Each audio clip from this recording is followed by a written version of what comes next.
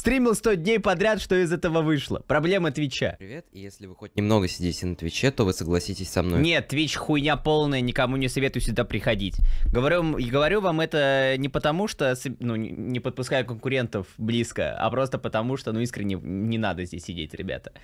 Лучше стримите на других платформах том, что сейчас начинающих стримеров стало слишком много. Они лезут буквально из каждого угла. Ну и вот я, ваш герой, хочу вам рассказать, что будет, если стримить 100 дней подряд и какого успеха вы добьетесь. А может и нет. Ну и давайте начнем с небольшого вступления. Все вы знаете такую площадку, как TikTok. И у меня создается такое впечатление, что в последнее время это стало не площадкой для создания юмористического контента, а площадка для нарезок стримов как раз таки этих начинающих стримеров. Сказать, что это полный пиздец, это ничего не сказать. Только я захожу в TikTok, я сразу вижу отборные контент с подобных стримеров, которые пытаются пробиться на Твиче. Но зачем же они это делают? Давайте попробуем в этом разобраться.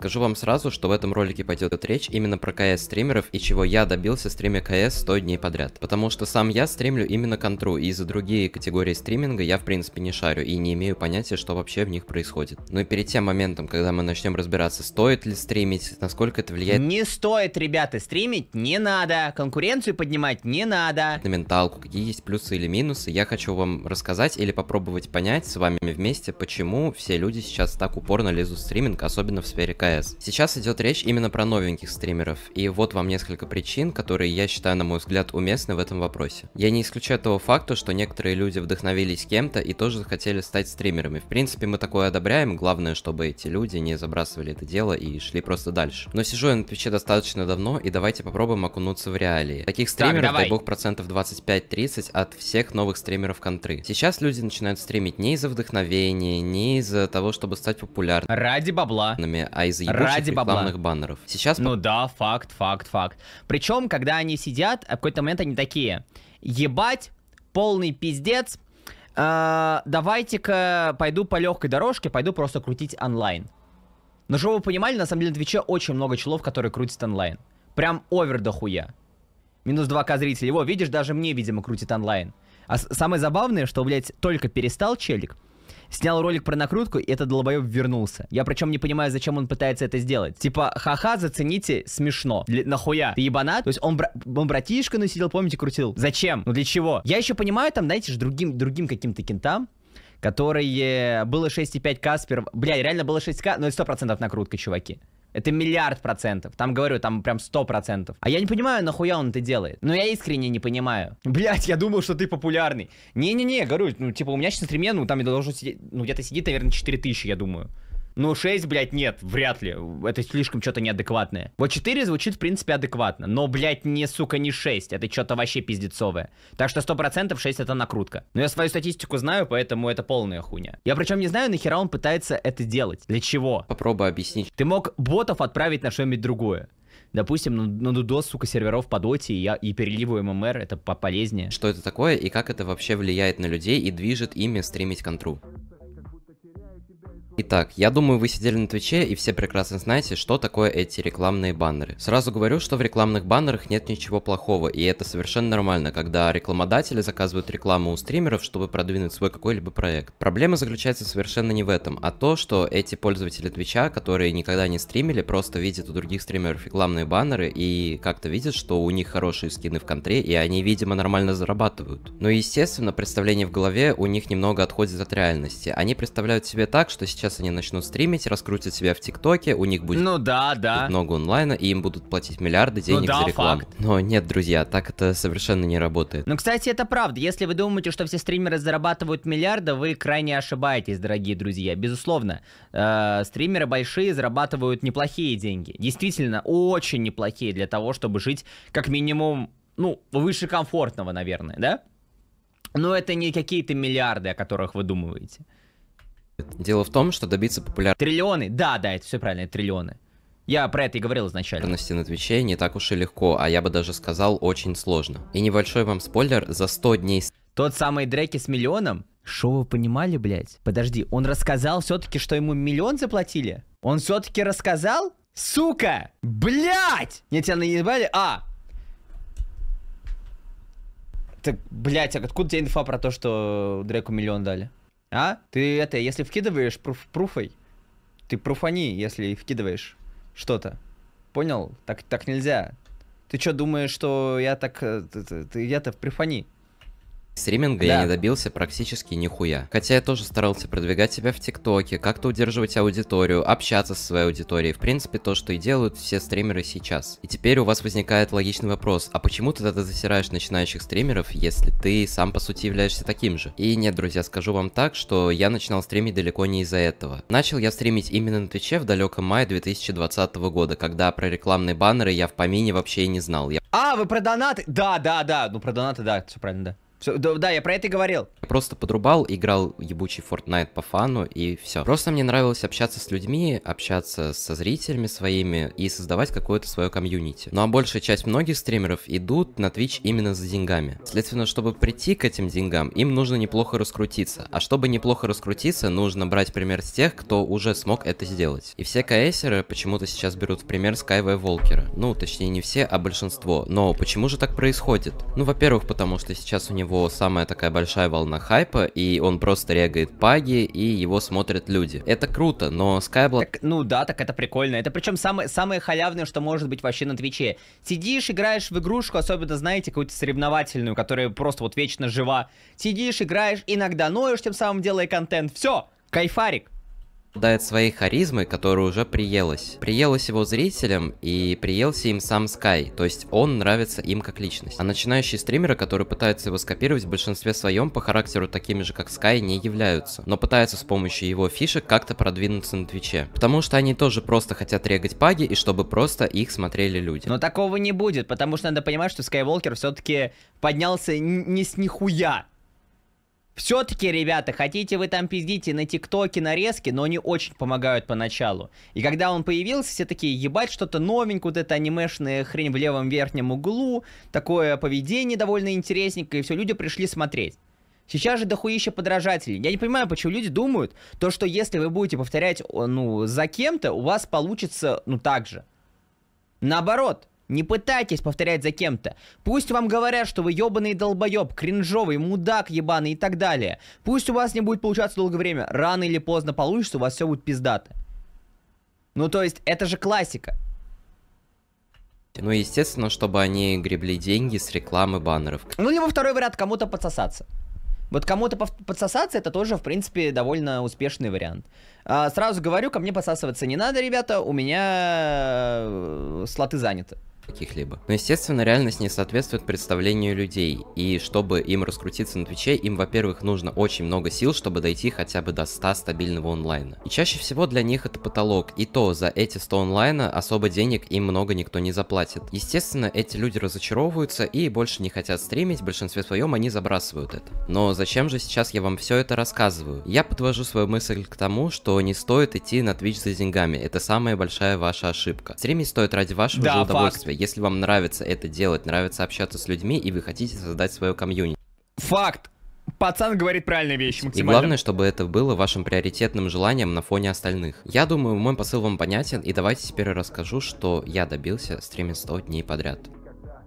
С нулевой хочу сказать, что Ну, начиная вероятнее всего, что перегорел, потому что, ну, 100 дней подряд стримить это очень тяжело. Прям очень тяжело. Стримить ради своего желания и в дальнейшем рассчитывать на заработок совершенно нормально. Предыдущий пункт был про тех людей, которым не нравится стримить от слова совсем, и они просто хотят заработать на этом денег. Но и это так, чисто к слову, чтобы ко мне потом не было никаких вопросов и обид от стримеров, которые только начали. Мой 100-дневный челлендж начался в начале февраля 2024 года, а закончился в начале июня, также 2024 года. В эти Я дни я 100 стримил дней. каждый день. Были, конечно, уважительные пропуски, но это А, с проп... Не-не, подожди, ну вообще без пропуска. не меняет того факта, что пропущено было не больше пяти дней. Я думаю, у всех бывают моменты, когда возникают какие-то важные дела, и стримить вы просто не можете. Поэтому прошу меня за это не ебашить палками, в принципе, это нормально. Но и сперва мы затронем то, чего я добился, а после я вам расскажу, какие есть плюсы и минусы, чтобы вам легче было разобраться, начинать вам стримить или нет, если Ну, это давай. есть в ваших планах.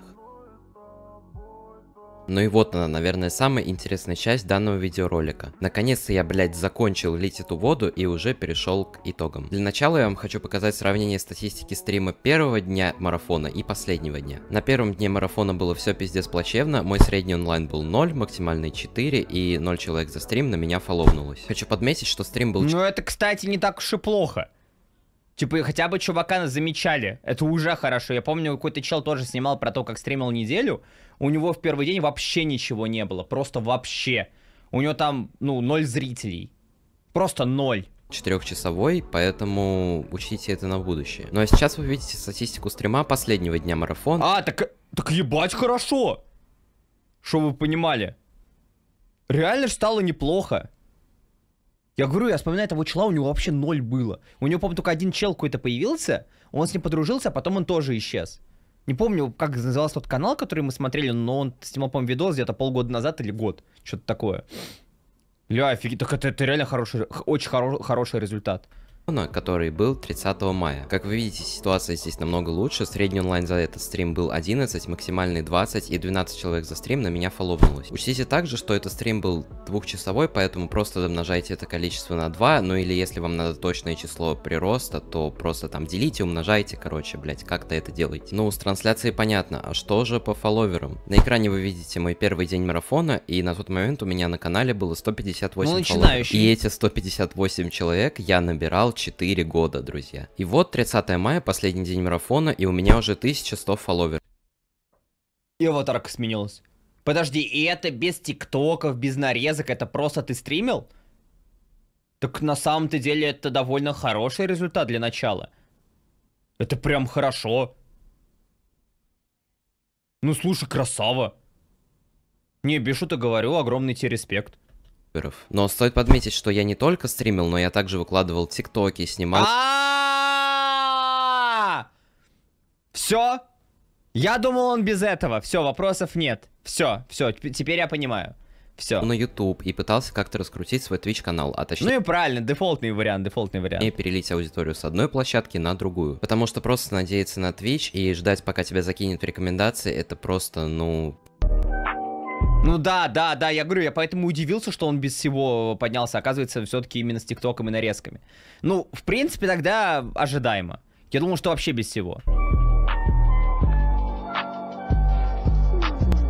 Вот я вам и показал то, чего я добился за эти 100 дней стриминга, ну и давайте теперь я вам расскажу, какие плюсы и минусы есть в этом. И тогда вы сможете представить у себя в голове примерную картину, как все это выглядит и каково это стримить каждый день на протяжении 2-3 часов. Этой частью видео я хочу помочь начинающим стримерам определиться с тем, стоит начать им стримить или нет. Но скорее всего эта часть подойдет только для тех, кто сомневается в том, начинать, не начинать, стоит, не стоит и тому подобное. Но все-таки хотелось, чтобы вы придерживались золотому правилу «хочешь делай». То есть, если вы хотите начать стрим... Да, это факт. Вот эти моменты из разряда я не знаю, хочу ли я. Вот когда, особенно когда приходит ко мне там или с другим чувакам, постоянно этот вопрос. Я не знаю, хочу ли я. Вот можешь посоветовать что-нибудь для начала? Что тебе посоветовать? Начни просто. В плане стримов, я не знаю, стрим это одна из самых распиздяйских медиа-деятельностей в интернете. Ну, объективно. Легче стриминга нет ничего. Сука, даже тиктоки делают сложнее. Что здесь сложного в стриме? Ты запускаешь, пиздишь микрофон, ну то есть, опять же, да, субъективно, потому что я, допустим, человек довольно, э, эксп, ну, такой на экспрессии постоянно, постоянно пизжу, работаю ртом и так далее, могу что-то сказать. Есть люди довольно такие закрытые, которые им сложно, им сложно говорить. Э, но лично для меня Стрим — это одна из самых распиздяйских, блядь, медиа деятельностей. Тут вообще не нужно усилий, просто сидишь, открываешь ротик, б -б -б -б -б, делаешь и кайфуешь. Все. Все. Тиктоки делать сложнее, чтобы вы понимали, Ютуб делать сложнее. Но Ютуб вообще никакое сравнение не, не идет. Поэтому, ну, если вы не можете, ну, не знаете, с чего начать в плане стрима, ребята, у меня для вас супер плохие новости возможно, это вообще не ваше. Потому что, ну, если вы такие сидите, блядь, я не знаю, блядь, с чего начать. Ну, тогда хуй знает. Вы же можете пойти поссать. Вот это то же самое, что запустить стрим. Стримить. Если вы горите к этому, если у вас есть собственное желание, то начинайте, пробуйте, никто вас осуждать за это не будет. Ну да, факт, факт. Просто, ну, типа, если у вас сразу не хочется, то забейте хуй. Зачем себя пытаться заставлять? Ну и давайте начнем с плюсов. Первый и самый главный плюс то, что вы обретаете новые знакомства, создаете свою комьюнити, и это, это на самом деле очень интересно. Плюсом вы развиваете это себя как личность, и это поможет вам в жизни в дальнейшем. Весь ролик я говорил вам про то, что типа... Весь ролик я говорил про то... Весь ролик я говорил про заработок начинающих стримеров, но тем не менее, если вы реально горите этим и что-то у вас в этом да получится, то вы можете рассчитывать на деньги за ваше хобби. Ну и по возможности в дальнейшем переделать это хобби в вашу постоянную работу. Ну а да. главное в такую работу, которая вам будет нравиться, и вы будете ощущать себя в зоне комфорта. Ну и давайте с вами поговорим про Ну дай минусы, бог, потому что все-таки без них никуда. И первый минус это если вы реально хотите чего-то добиться, то вам будет не до пизды на то, что у вас, допустим, падает актив, и вы будете ловить частые выгорания по поводу того, что вы делаете что-то не так, будете пытаться анализировать свои ошибки и тому подобное. Ну а в этом случае я хочу вам показать очень интересный график, который работает не только со стримингом, но и со всеми, в принципе, новыми вашими начинаниями. Итак, мы видим Типа, когда ты начинаешь, у тебя сразу идет успех, потом получается стагнация и сложная работа, а потом опять успех. определенные точки роста и шкалу этого самого роста. Вы начинаете путь с какой-то определенной точки, и это уже зависит от того, есть ли у вас знакомые, которые могут вам помочь в стриминге и так далее. В любом случае, если вы как-то стараетесь себя продвинуть, переливаете аудиторию и так далее, то вы сначала будете потихоньку расти. И в определенный момент у вас случается спад, но после этого спада опять же приходит возрастание Да, вашего да. прогресса, только уже на более высокий уровень. И